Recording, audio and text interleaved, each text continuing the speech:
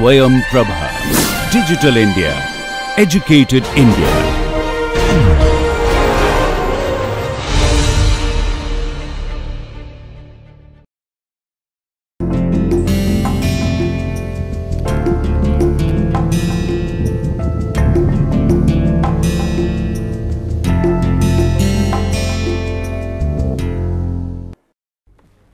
So, let us again indulge ourselves in the pleasures of linear programming.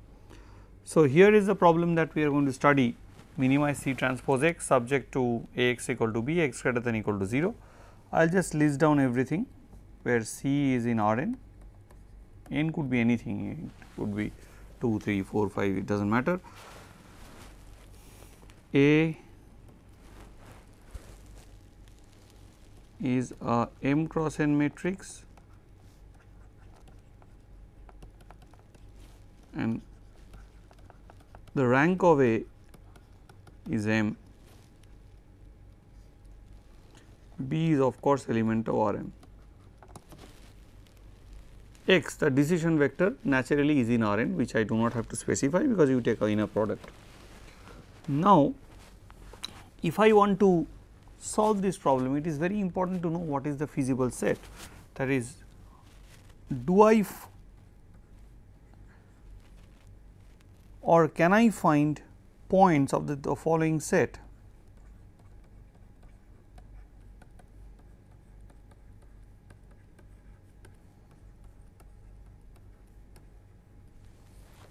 Now, uh, how do I go about doing this? What is the easiest way of finding a point? Now, this thing can be done through a little trick. The trick is as follows that because you know that rank of A is m that is A is of full row rank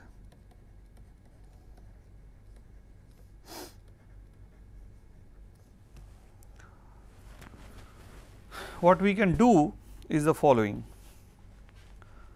We, we know that thus A has m linearly independent columns. Of course, m is less than equal to n, this is quite a standard thing because the maximum number of linearly independent vectors that you can have in n space R n is n. So, thus m has m linearly independent columns.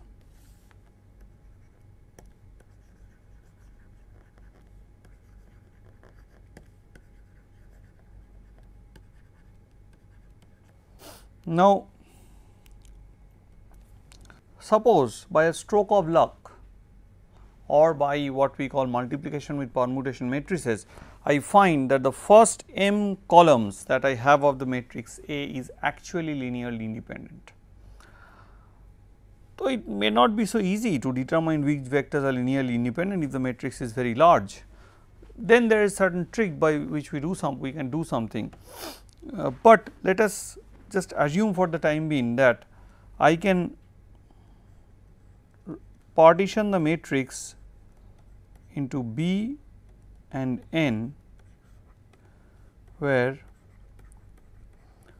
B is a n m cross m matrix. So, B is a matrix whose rows as well as columns. So, these first m rows and these are n minus m rows m columns. So, the first m columns of A are linearly independent and taking those columns and the rows themselves I form a matrix B. So, I B is an m cross m matrix and you know this I have partitioned the columns. So, this m cross m matrix B is invertible because it has m linearly independent rows and m linearly independent columns. So, B is invertible.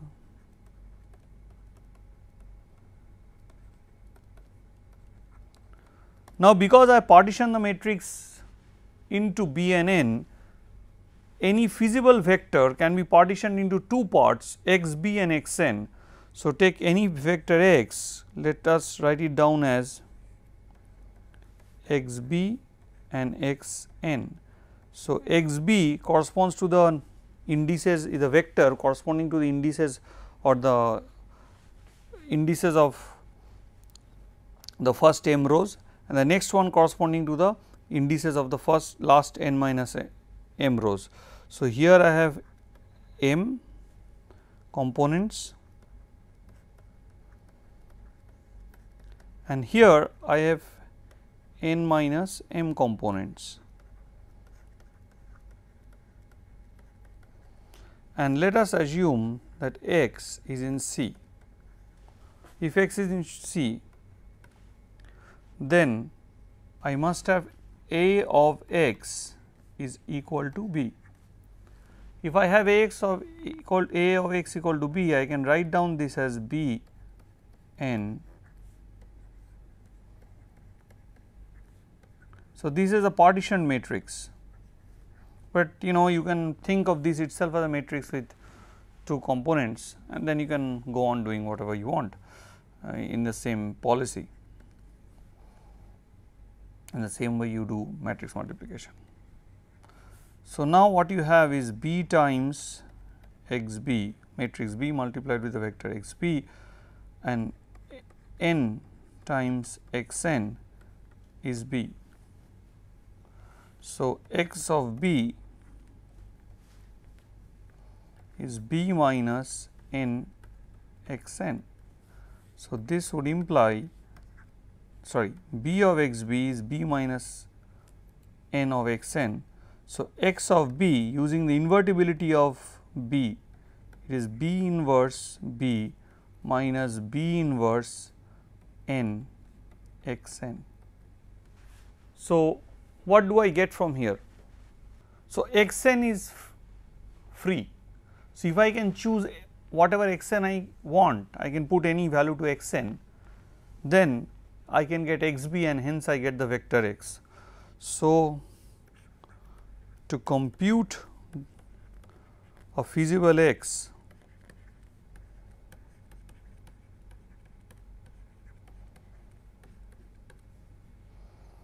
we have x n free.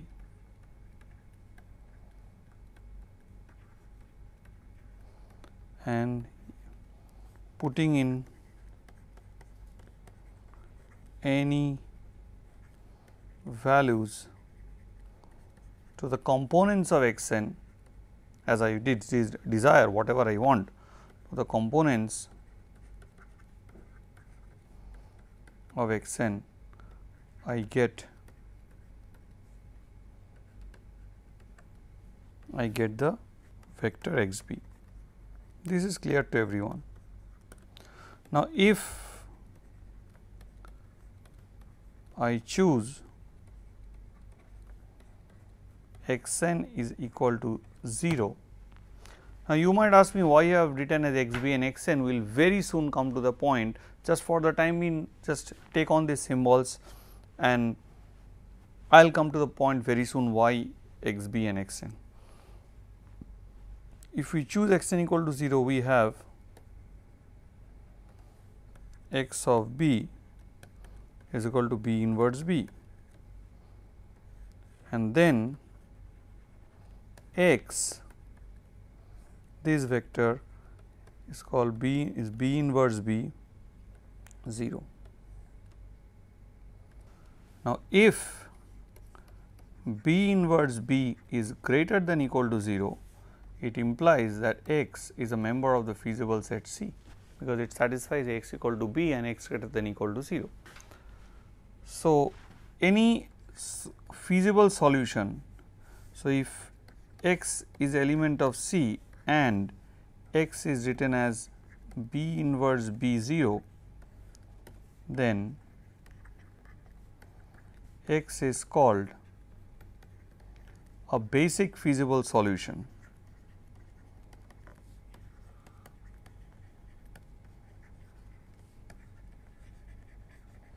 And that is why this x b x b x n equal to x. This is called the basic part and this is called the non basic part. So, when non-basic components are all 0, the feasible solution that we get is called a basic feasible solution. So, this is a basic feasible solution.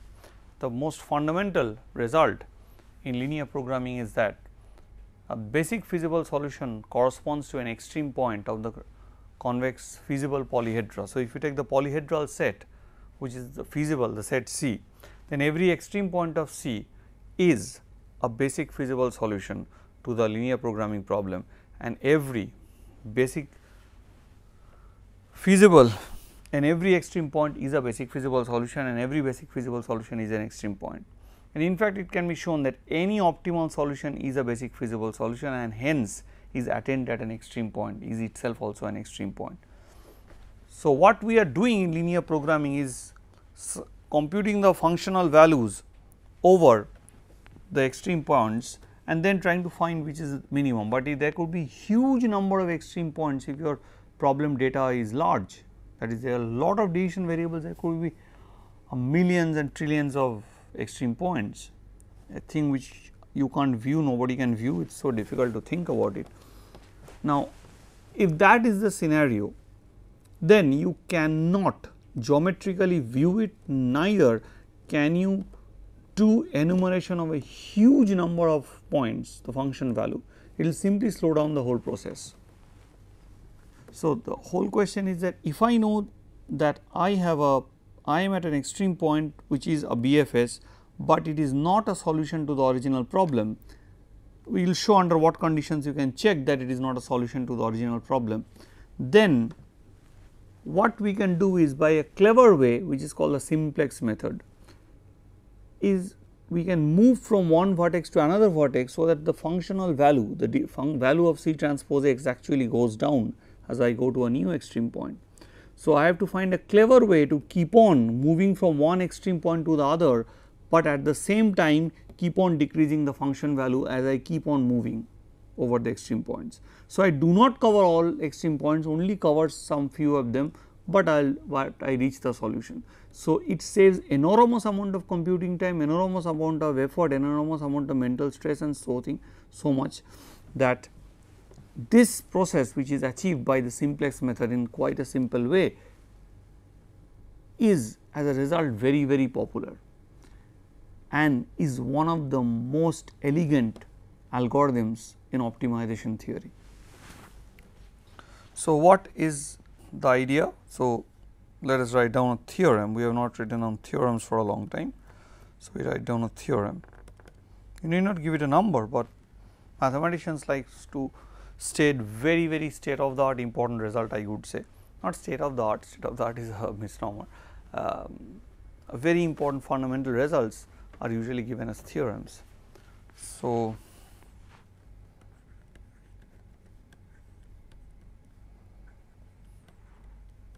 now you might ask me how do I know that there will be an extreme point of this convex set? Could there be a convex set which does not have an extreme point? Could there be a convex set which does not have an extreme point? I am asking you this question, think of an example. Can you find a convex set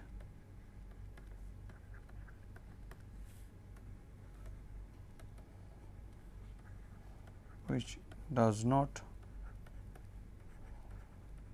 have an extreme point.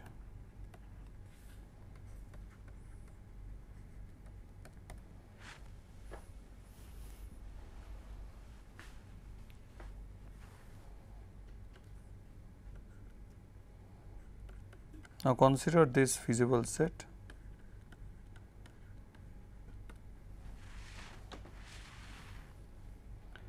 if x is an extreme point of C actually there is a major result in convex geometry which says that every convex polyhedron set has an extreme point. If x is an extreme point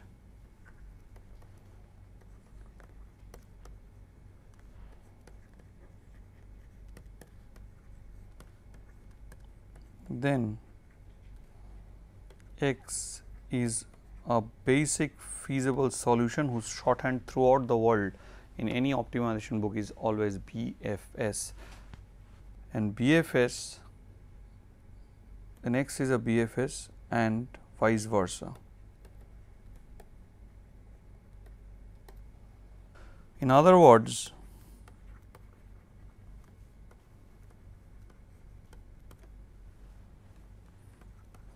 x is an extreme point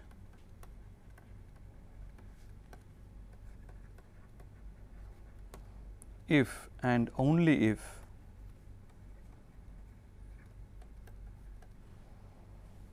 A the matrix A can be decomposed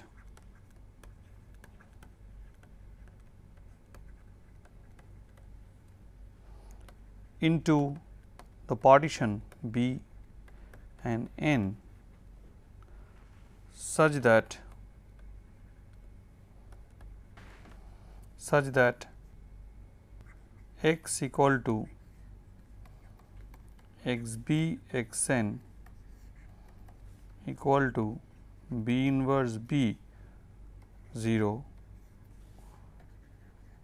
where B is an invertible matrix. So, x so if x is an extreme point it can be represented like this and if x can be represented like this then x is an extreme point where B is an invertible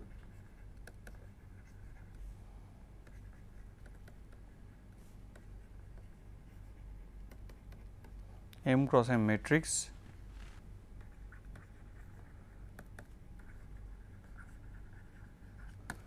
satisfying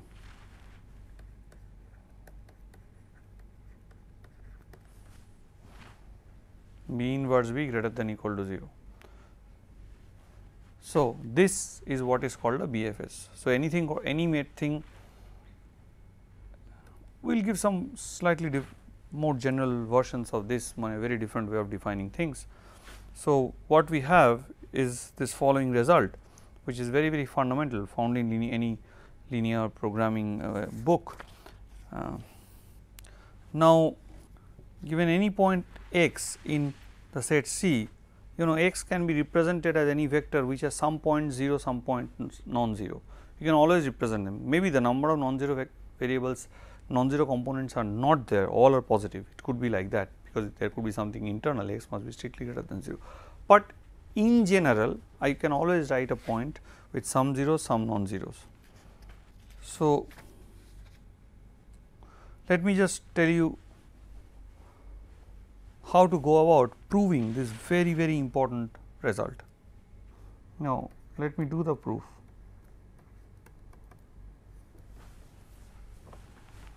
Suppose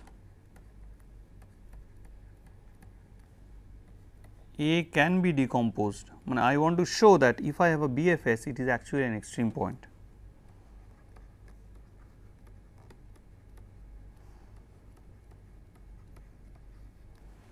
A can be decomposed into B n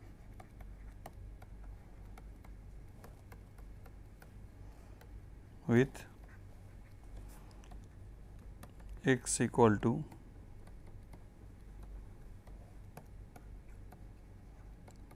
this is whatever I have assumed in the result.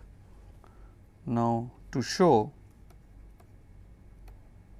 that x is an extreme point of C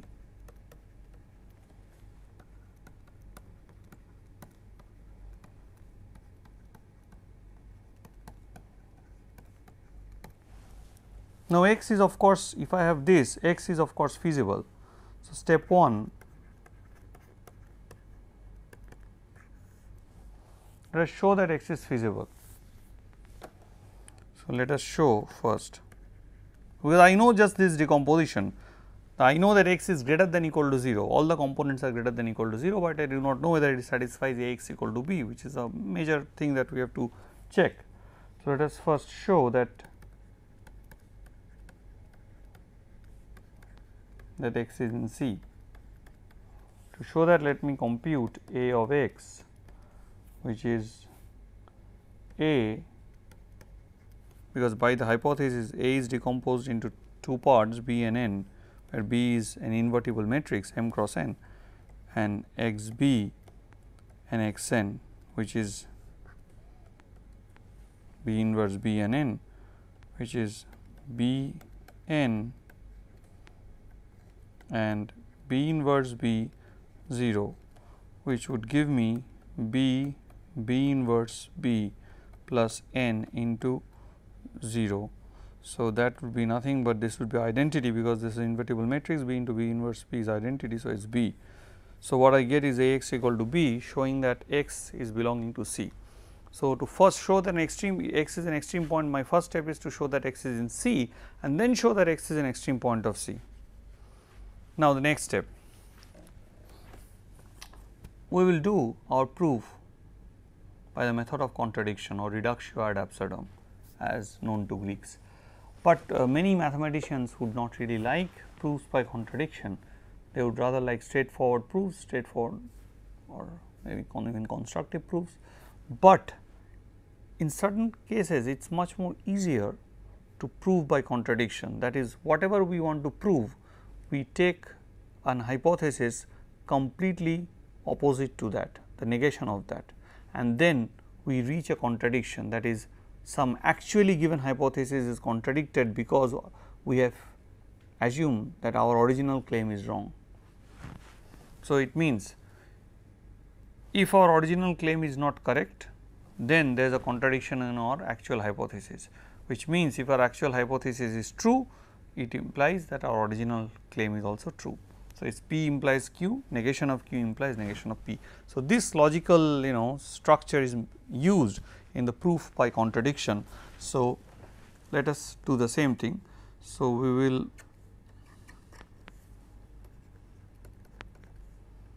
prove by contradiction.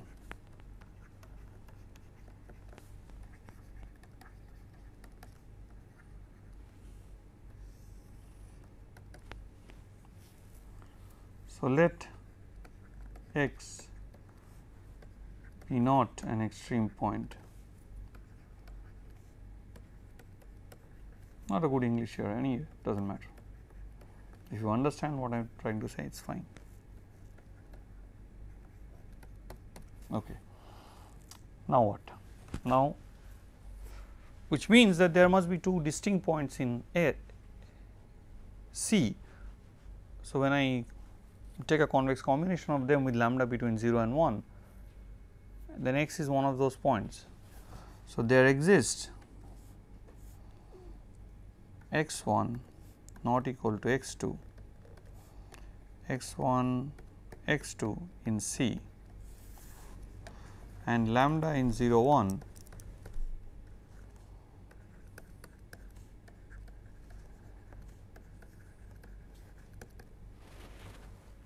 such that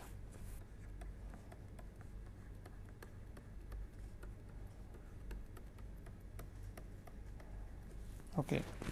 So, x is represented as b inverse b 0. So, b inverse b consists of few vec few vectors, few rows and columns. So, I am writing corresponding to the x b part I am dividing x 1 into x 1 1 and x 1 2 and I am breaking up x 2 into x 2 1 x 2 2. You could as well as write x 1 b, x 1 n, x 2 b, x 2 n does not matter. What I would have is that this has the same number of components as x b, this has the same number of components as x n, this has the same number of components as x b and this has the same number of components as x n.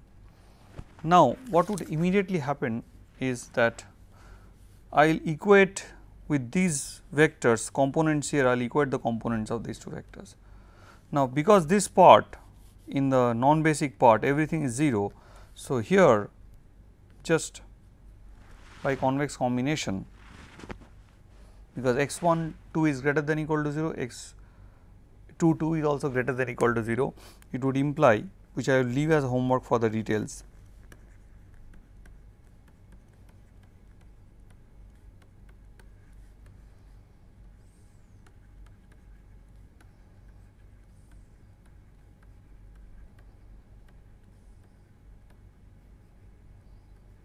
Now, let us see what does it mean.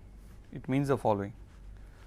So, some part is 0. Now, I have a of because x 1 is feasible, I have a of x 1 is equal to b which would imply again by the partition b x 1 1 plus n x 1 2 is equal to b, but x 1 2 is 0 from here from the above line and this would imply x 1 1 is equal to b inverse b. The same goes for x 2 because that being an element of C and because it is already greater than equal to 0 it also has to satisfy it is greater than equal to 0 and also has to satisfy x 2 is equal to b. So, this would imply b x 2 1 plus n x 2 2 is equal to b where again from the previous line we have x 2 2 equal to 0 implying that x 2 1 is equal to b inverse b. So, that would simply imply that x is equal to x 1 is equal to x 2. So, it contradicts that x 1 contradicts that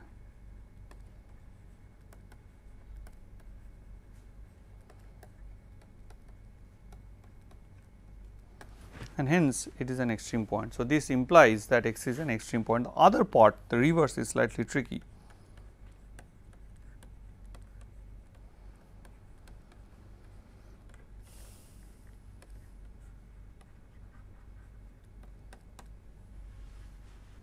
Now, for the reverse.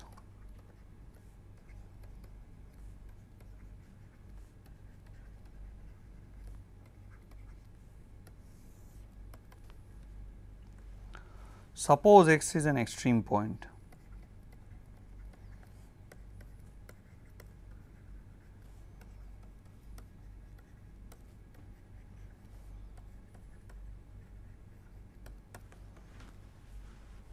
So, x is not an extreme interior point which so this implies that x is in the boundary of C.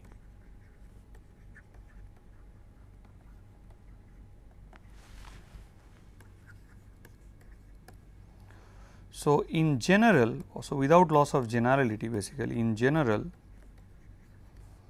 we can write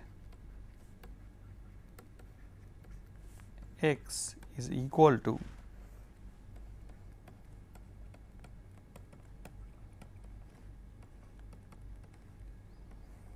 So, the first k components are non-zero where x is an element of C, it is an extreme point.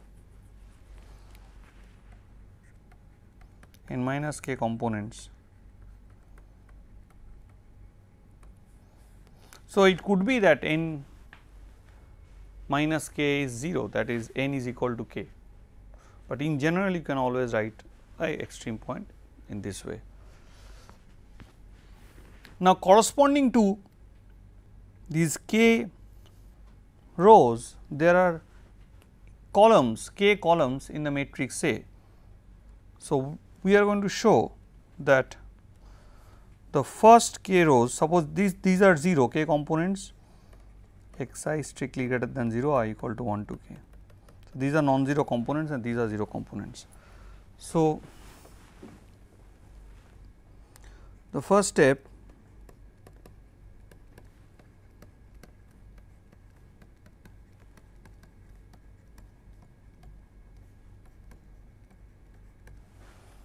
is to show that the first k rows A 1 A k the first k rows of A are linearly independent.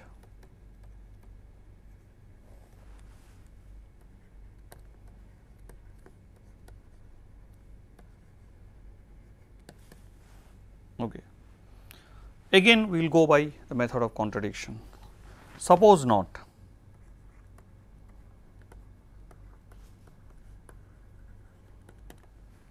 Then it must be linearly dependent.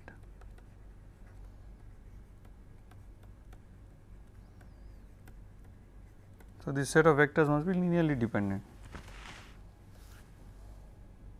Thus, there exist scalars which are real number because we are in a real field lambda 1, lambda 2, lambda k not all 0 such that lambda 1 a 1 lambda 2 this linear combination is actually 0.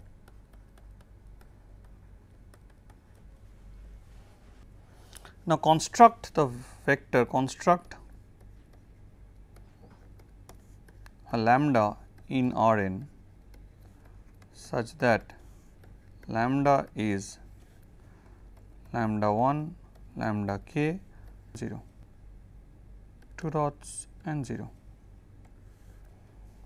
So, k components n minus k components.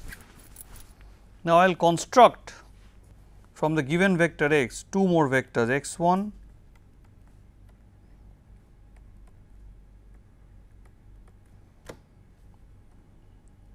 x 2. So, I will take an alpha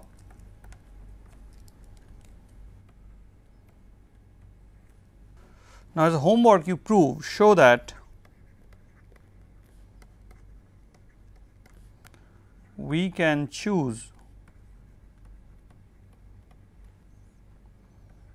alpha greater than 0 in such a way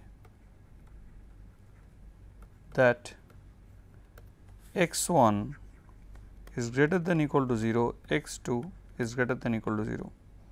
Spend some time with this, it is a good, good exercise.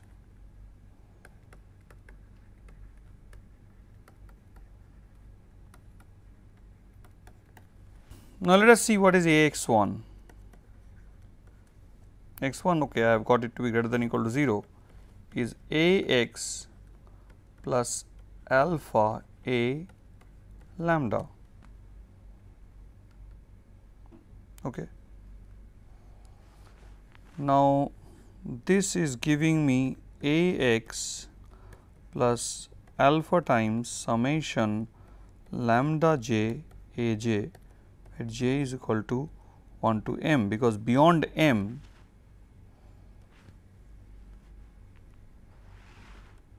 sorry this is not k n I made a mistake it is m. This is m. In R m. Because this corresponds to m components m columns which are so maximum number of linearly independent columns is m. So, if k is bigger than m we have to do something. If k is smaller than m, then fine we already have it. So, if k is bigger than m, I can always reduce that number, I can always bring down and show that if once k is bigger than m, you cannot have linear, they cannot be linearly independent and that that is the whole idea of doing so.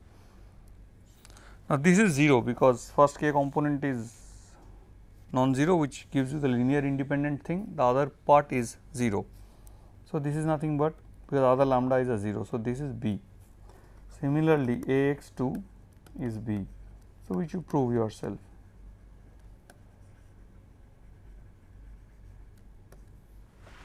Now, once I know this fact, observe that I can write x observe write x as half x 1 plus half x 2 where x 1 is not equal to x 2. So, if a 1 a 2 a k are so if a 1 a 2 a k are linearly independent linearly dependent that is what then x is not an extreme point.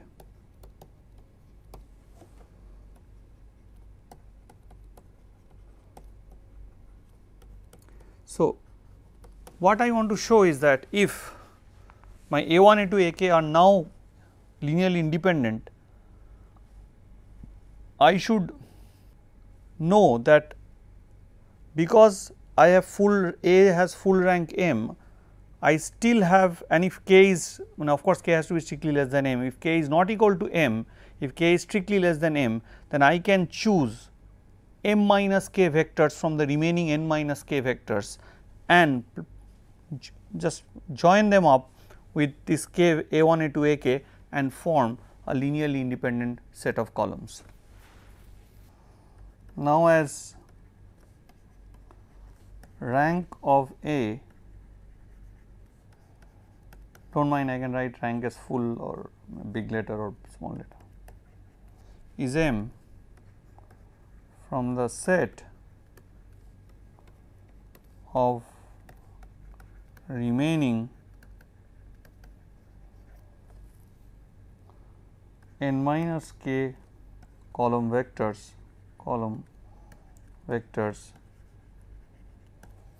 we can choose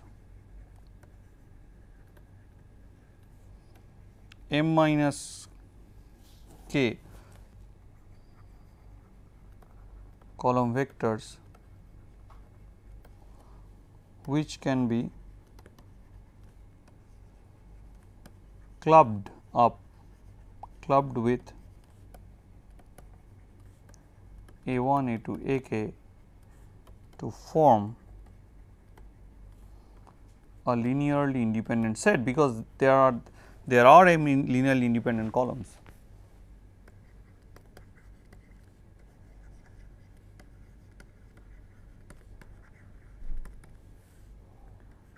Let a 1 a sorry a k plus 1 to a m are these vectors for simplicity we are or you just have to make a multiplication with the permutation matrix.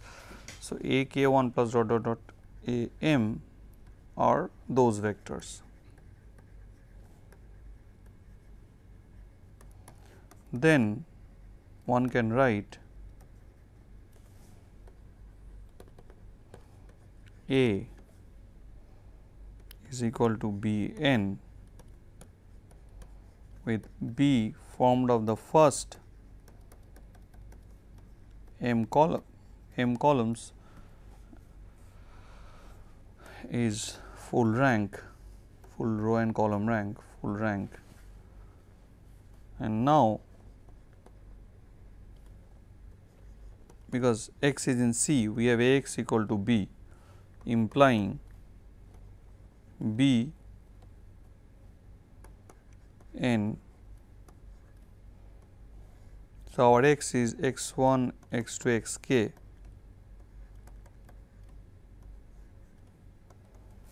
So, B inverse B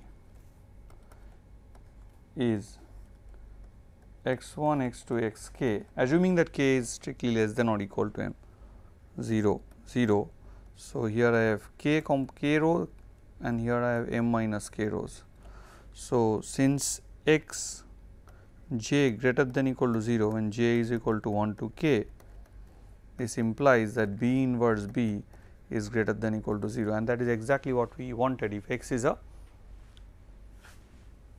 extreme point then I can represent A in this form B and n where B has all its rows and all its columns linearly independent and x can be represented as b inverse b.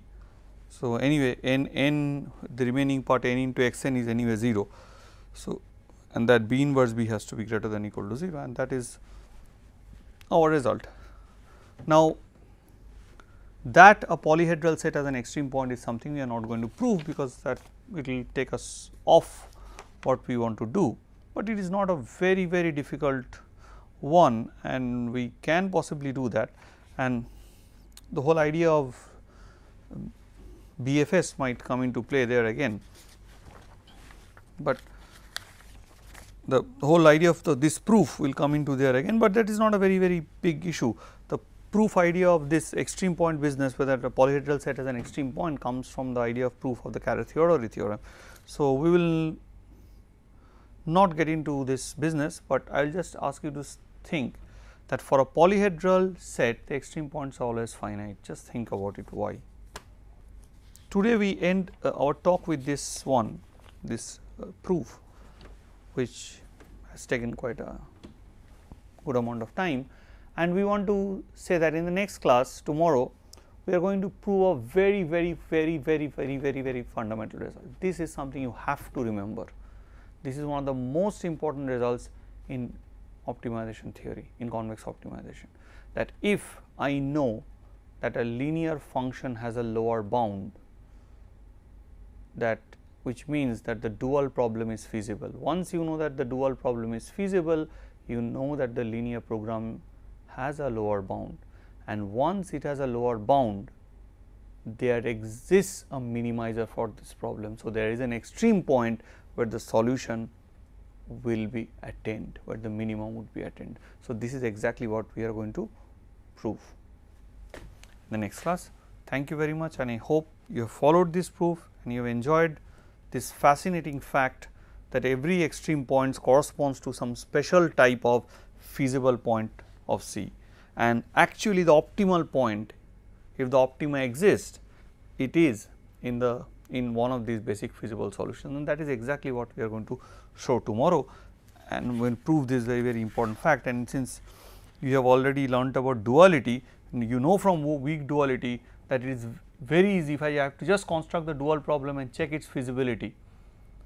And we will tell you how to check feasibility of a system of linear equations very soon.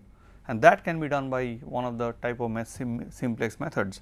And uh, we will tell you that once you uh, know that there is a lower bound, it is immediately clear that there is a minimizer. This is a very very important fact from the point of view of computation, because nowadays there are many standard algorithms which once you give in the input of the primal they know the inputs of the dual, because the dual inputs dual data is generated out of the primal data there is no extra data anywhere.